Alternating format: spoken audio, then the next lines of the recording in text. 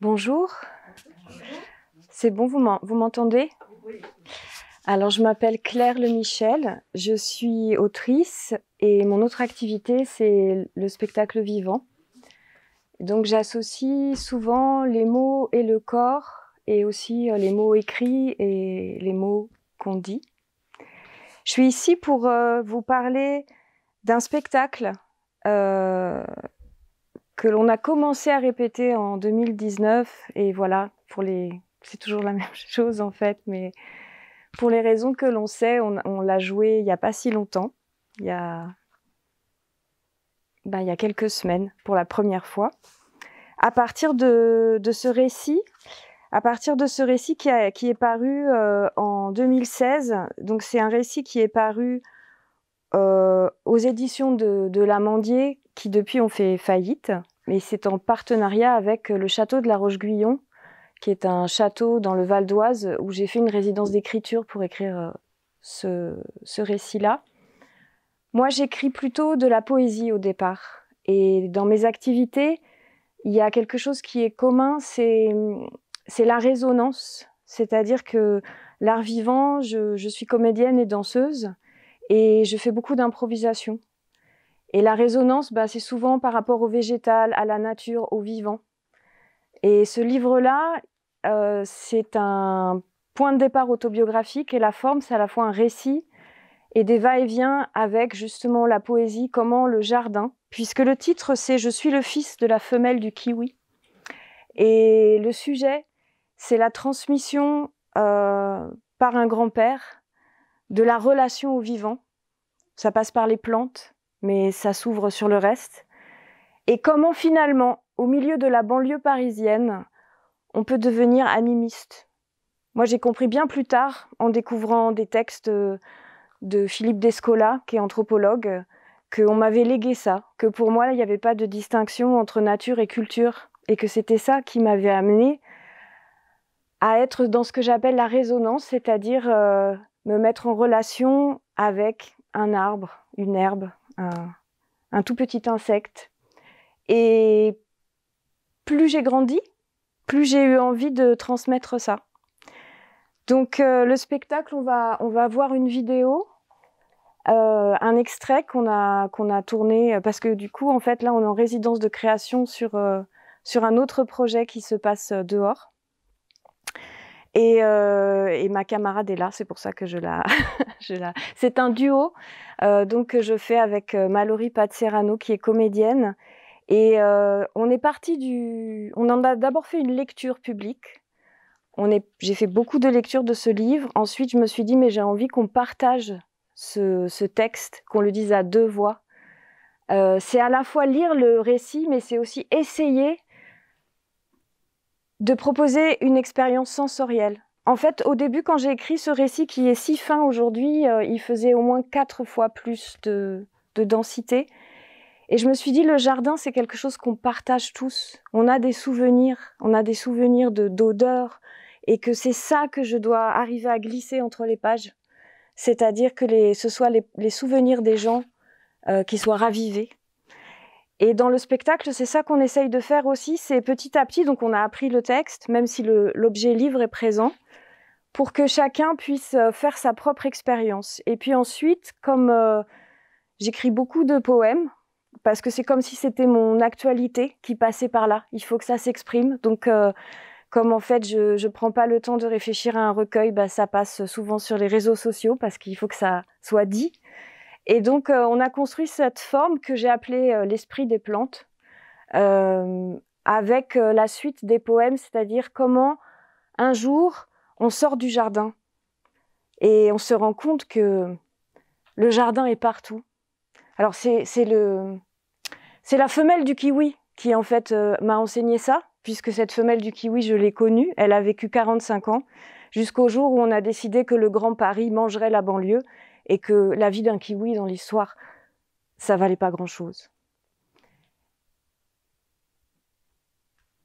Et je pense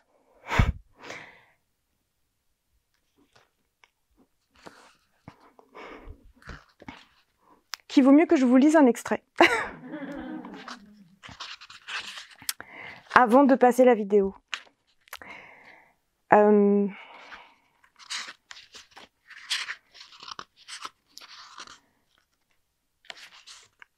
ah, il faut savoir que ça fait quand même 10 ans, hein, donc ça ne devrait pas me, me bousculer comme ça.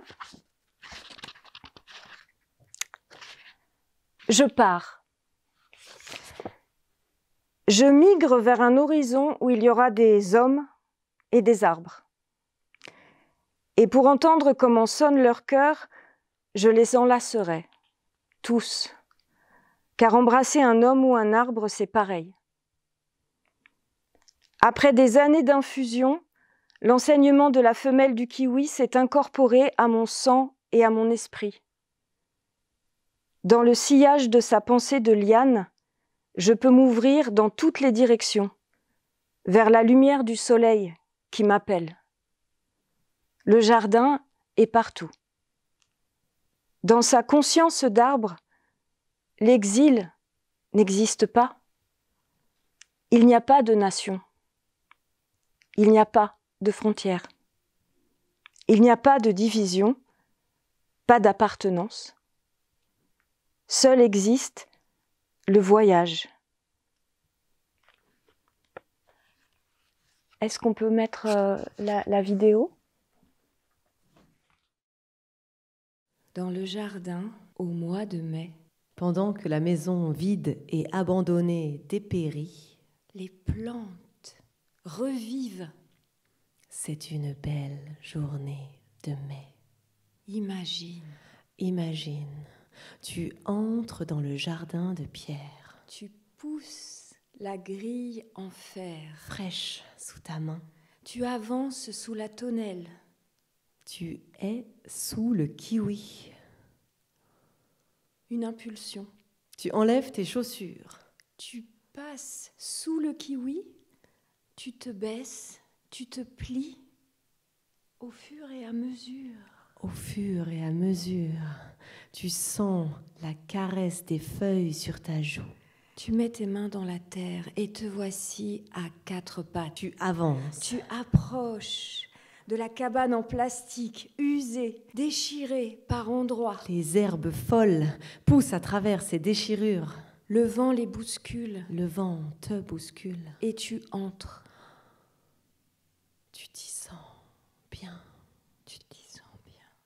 Les plantes ne voyagent pas, mais elles vagabondent. Elles vagabondent, elles se saisissent de toutes les occasions pour faire leur chemin.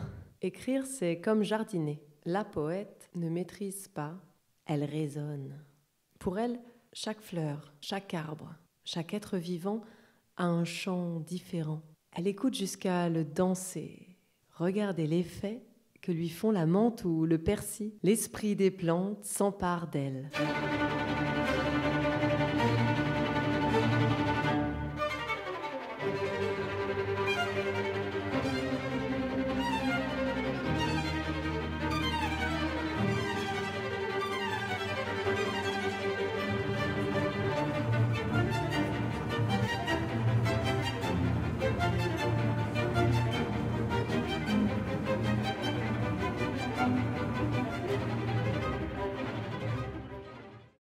Je pars.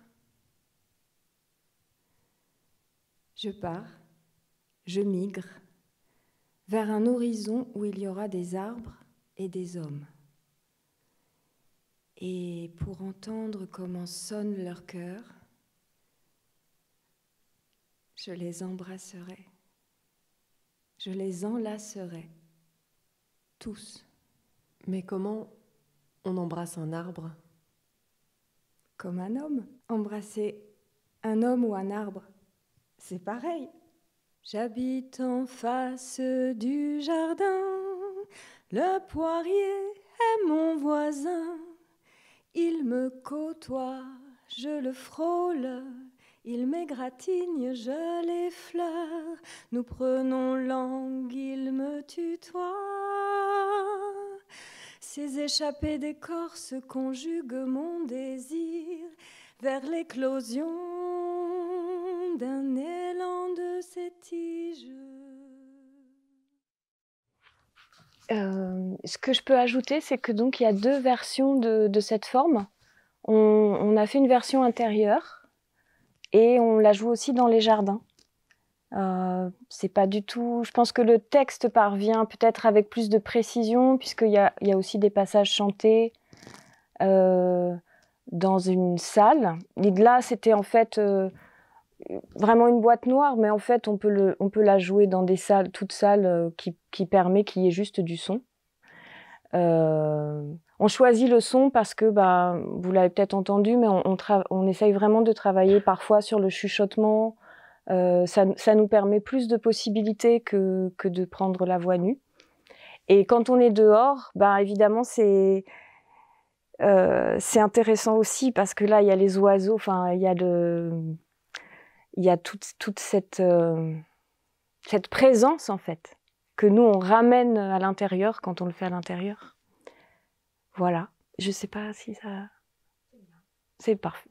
Voilà, bah, très bien. Bah, merci beaucoup.